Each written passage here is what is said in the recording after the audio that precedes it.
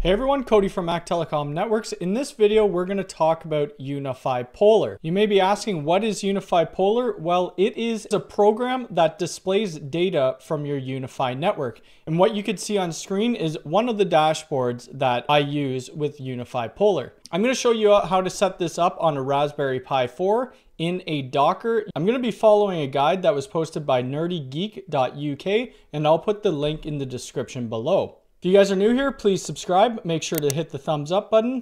If you'd like to hire me for network consulting, visit www.mactelecomnetworks.com. We have an Instagram at MacTelecomNetwork, and we also have a Discord server, and I'll put that in the description below. So as I'm running this on a Raspberry Pi, we need to download the Raspbian OS and load that onto our Raspberry Pi. If you guys already know how to do this, you could skip ahead. I'm gonna put timestamps into this video. So you want to select the Raspberry Pi OS and download it or download the torrent.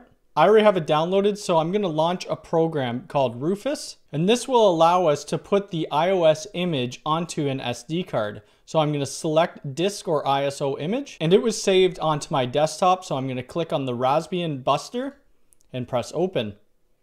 Then we're going to press start, and this will put the OS onto our SD card and it will erase all the data from the drive. Now that the OS is onto our SD card, we want to be able to access the Raspberry Pi from an SSH sessions. How we do that is to make a text document within our boot file to specify SSH. So I'm going to go to my boot E, which is where the SD card is sitting right now. And this is the boot drive for the Raspbian OS. I'm going to right click and then we're going to go new and then text document. And all we're gonna name this is SSH, and that's it. We're gonna eject the drive, put the SD card into a Raspberry Pi that is hooked up to our network, and then launch it with a SSH session. So the Raspberry Pi has booted up and I just renamed it the UniFi Poller. We could see it at 192.168.10.62. So we'll get our PuTTY session and we'll go over to 192.168.10.62 and we'll press yes. So this is all default. So the default login is Pi and then the password is Raspberry. The first thing we're going to want to do is change our password. So we'll go passwd. We'll put in the old password and then we'll put in a new password. And like I said at the beginning of this video, we'll be following a guide by the nerdygeek.uk and who actually created this program was Twitch Captain and I'll put his Twitter handle in the description as well. So the first thing we need to do is to get Docker working within our Raspberry Pi. So we want to make sure that everything is up to date. So we're going to run the sudo apt get update and sudo apt get upgrade. So I'll just go ahead and copy and paste this and then press enter. So it says after the operation, 13 megabits of additional space will be required and we'll say yes to that. Now the upgrade is done, we need to install Docker onto our Raspberry Pi. Now we have to add the Pi user to the Docker group. So we'll use the sudo user mode dash ag docker pi. Now we need to reboot our Raspberry Pi and then log in when it comes back up. So we're going to use the sudo shutdown dash r now and let that reboot and we can see that the network closed. Our Raspberry Pi is now power cycled. We're going to have to log in with user pi and then the new password that we created. And we can make sure that everything is running properly by running the command docker run hello world. And you can see right here, hello from Docker. This message shows that your installation appears to be working correctly. So the next thing we're gonna do is install Docker Compose, which allows us to manage our Docker images. So these are the two commands right here that we're gonna run in our Raspberry Pi. I'm just gonna copy and paste, and then we'll do our second command copy and paste as well. The next thing we need to do, we need to prepare our UniFi controller by creating a new user within our controller. This will tell you how to do it on a classic controller, and the second one will show you how to do it on the UniFi OS, which would be a UDM or a UDM Pro. I'm using a UDM Pro, so we'll go down to users, we'll add a user, and the user role will be limited admin, and the account type is gonna be local access. So we need to give this a first and last name. So the first name we'll do it unifi and the second name we'll do Poller. And the local username we'll put in will be UniFi Poller and then we'll create a local password. And the password I'm going to put in is test1234. The only permissions we need to give it is the UniFi network read only. So we could have no permissions for UniFi Protect, UniFi Access, and UniFi Talk.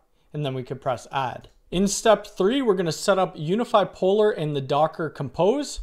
So as they discuss here, we're going to keep things tidy by creating multiple different directories. So I'm just going to copy and paste this all into my Raspberry Pi command line.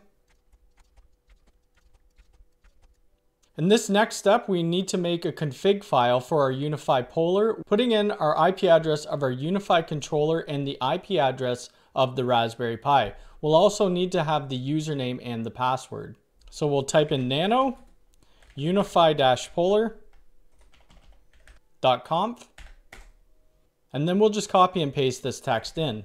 And since I'm using a UDM Pro, we don't need to have 8443 in, but we do need to change it to the IP address of our UDM Pro controller, which for me is 192.168.10.1. We need to change the password to the password that I created for the UniFi Poller on my UDM, which will be test1234.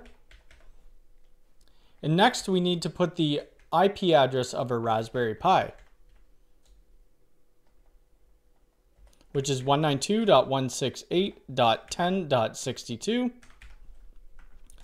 Then we need to exit and save this config file. So we'll press Control X, we'll press yes, and then enter.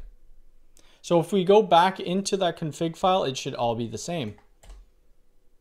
Next, we need to put in the settings for Docker Compose. So we're going to go back a level by going cd dot dot and then we're going to create another file using nano. So the file will be called nano Docker Compose dot y a m l, and we'll press enter and we'll copy and paste all this code into it. Now we're going to press Control X and then we're going to press Y and hit enter to save. Now we need to bring Docker Compose up by running the command Docker Compose up. All right, now we need to go to the IP address of a Raspberry Pi and then port 3000. So I'll go to 192.168.10.62 and then 3000. And the username and password is going to be default admin admin. Now it's asking us to create a new password. And this is our dashboard. There's a few more steps that we need to do before it will start pulling the data from UniFi and we need to create a database for that. So we need to go to configuration then we need to go to data sources. We need to add a data source.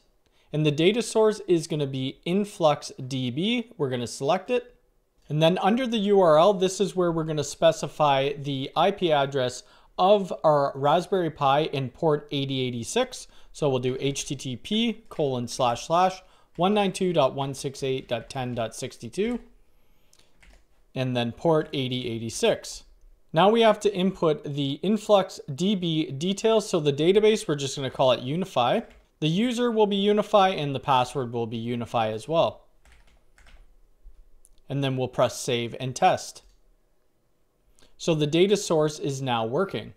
Now we have to add the poller data. So we're going to go and hit the plus button, go to import, and then we need to import a few IDs. So the first one is going to be 10414 and we'll load that. And this is for the UniFi Poller network sites. I only have the one network site, which is my UDM Pro. If you had multiple sites that you wanted to use, it would show up here. The folder will be general, and then the UniFi Poller will be the Influx DB. And we'll press import. And we need to add a few more IDs to this as well. So I'll go to plus, import. The next ID will be 10415 and we'll load this. This will be for our UAP insights. We'll select the Influx DB and press import. We'll go back to plus and then we'll import again. And the next ID will be 10416.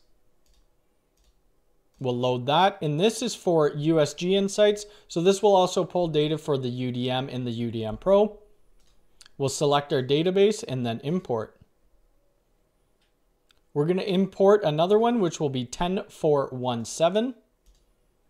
And this is for our USW, so all of our UniFi switches, and then we'll select our Influx DB. We'll import 10418, press load, and this is for our client insights, our UniFi clients. And last but not least will be 10419, which is for our client DPI. And then we'll select our database and press import.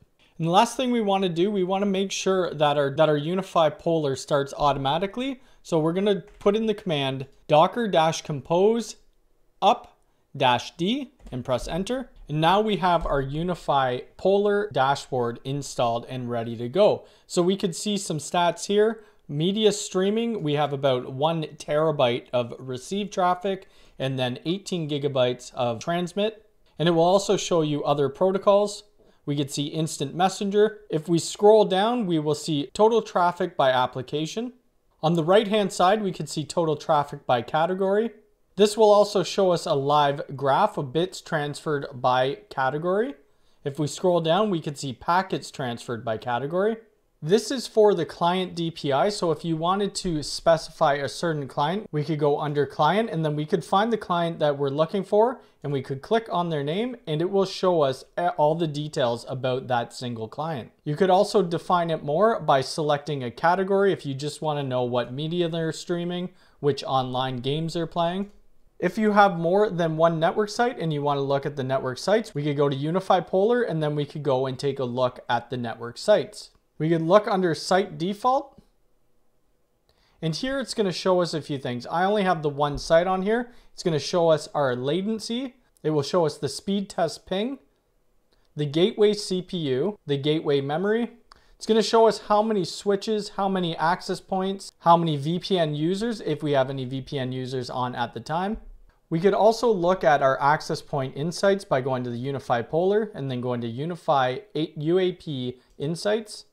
And here it will show you a variety of different things if we want to see the clients and which channels they're using. And you could specify if you just want to look at a single access point, you could select which access point you want to see data on. And then last, we could look at our UDM stats. So I'm going to go to UniFi Poller, USG Insights InfluxDB. Here it's going to show me the version of the UDM that I'm running, the controller IP, and the uptime. We could expand the gateway down and then we could see some more information. So under here, it's calling it a UniFi USG. It is a UDM. The speed is one gig. We have 24 users. The system uptime is five days, one hour, 24 minutes. Here is a speed test. So it would be 800 megabits per second download and 916 upload. It shows us our memory and CPU utilization. And then it's going to show us some information about the networks that are on this system. If we scroll down a little bit lower, we could see our WAN throughput. We could see what our LAN throughput is. We could see how many packets are coming in and out from our WAN and our LAN.